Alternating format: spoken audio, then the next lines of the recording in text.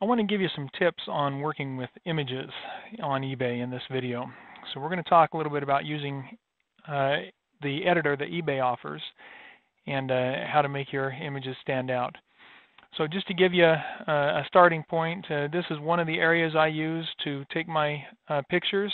Uh, we're in the afternoon right now. The light is kind of bluish, not the greatest, but with a little editing on my smartphone and then through eBay's app, I can make things look pretty good. So nothing special, uh, not entirely clean, but mostly white. This is the cleanest spot on that ledge right next to the window. Another option is just indoors, uh, and I'm inside uh, you know a lot of natural light, but uh, inside where where we work here.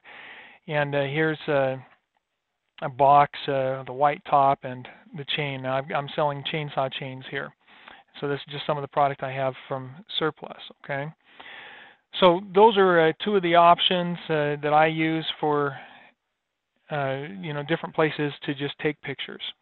And then once I get the pictures, I'll I'll take them on my smartphone, email them to myself, or have them uploaded to Dropbox, either way, and then I can move them over to, to eBay.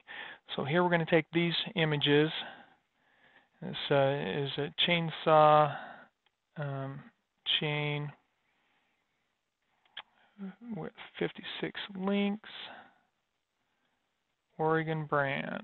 So I'm going to go ahead and put some of those keywords in there, highlight all of that and then I can just copy and paste the name to each of the others with a, an additional number on the end to make them unique images. That way I've got keywords in uh, each of my images there related to the actual image or, or item.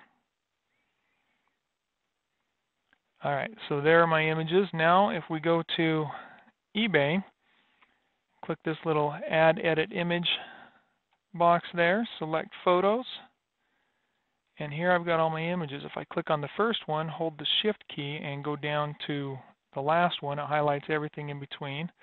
I can open all of them and it will upload it. Now you might have a slightly different looking uploader here in eBay, but uh, it'll be similar enough. You know, the, the process is about the same.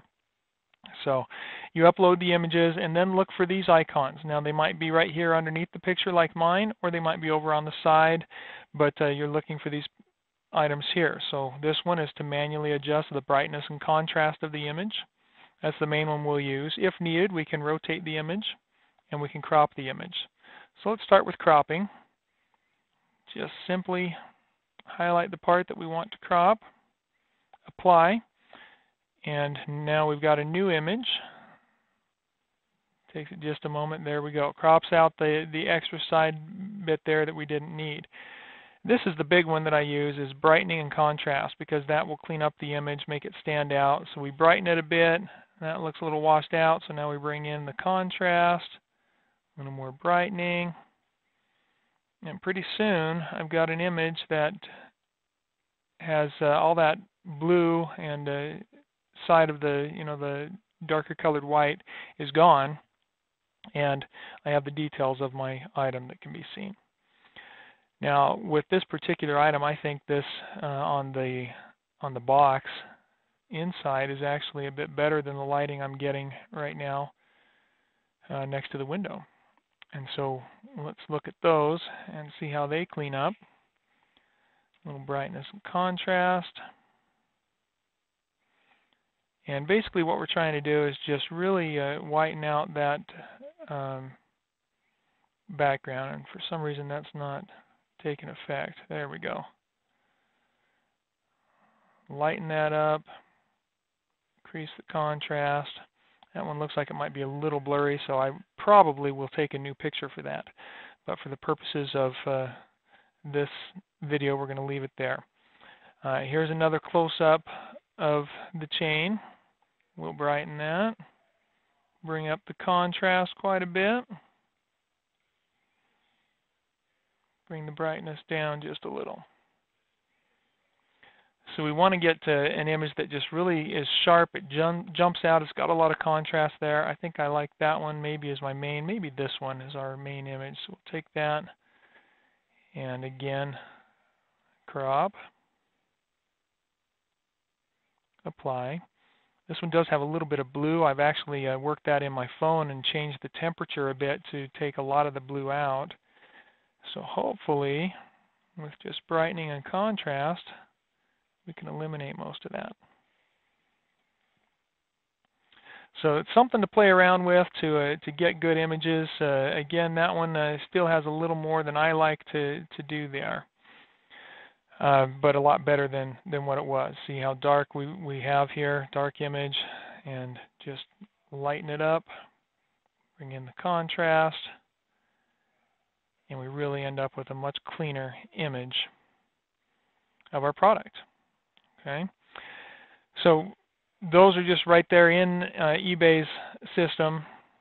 Uh, I think we'll take that one right there and move it over as our primary finish, and that'll bring us back to our listing with the items here.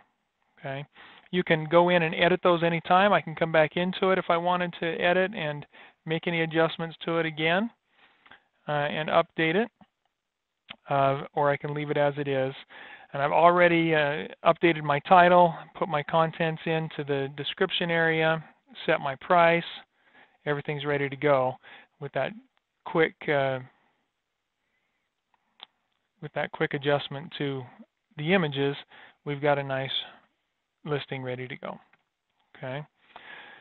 So that'll give you uh, something I hope that will help uh, kind of give you what to, to look at for editing uh, images for eBay. Uh, it doesn't, you know, you don't have to get real crazy with it. Uh, the best image you can come, you know, it's best to have the best possible image to start with, and then a little bit of editing, and you've got a pretty good listing put up there.